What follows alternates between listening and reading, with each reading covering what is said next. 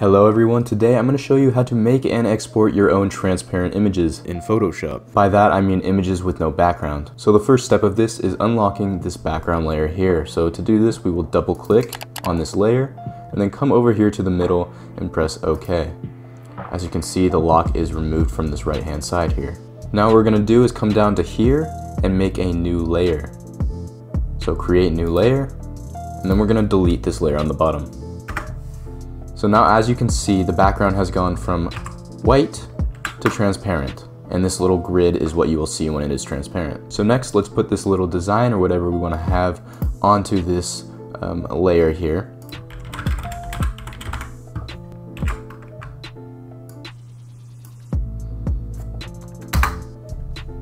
So now that we have our text in our workspace or whatever design you're using, we need to export this file so that it stays transparent.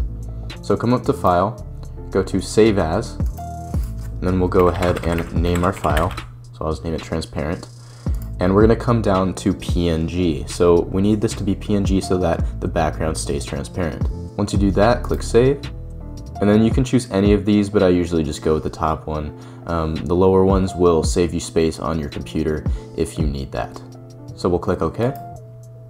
And so now this should be saved. So look in our files where we saved it, and I will drag in this layer. So now the layer you see that I dragged in is a transparent layer. And just so that you can see it visually, we will add something below it. And as you can see, you only see the color that is below it, right? So this layer is completely transparent behind it, and that is it. Very simple tutorial. If you want me to do other tutorials, uh, just let me know what you want to see, and I can get to those in the next one. Make sure to like and subscribe. The support is always appreciated. I'll see you in the next one.